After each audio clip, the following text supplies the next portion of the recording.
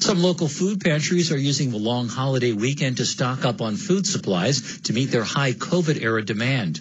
Alex Rapaport leads uh, Masbia Soup Kitchen Network. He said they picked up a leftover produce from the Union Square Farmers Market earlier today, and they were hoping to provide meals to 750 families.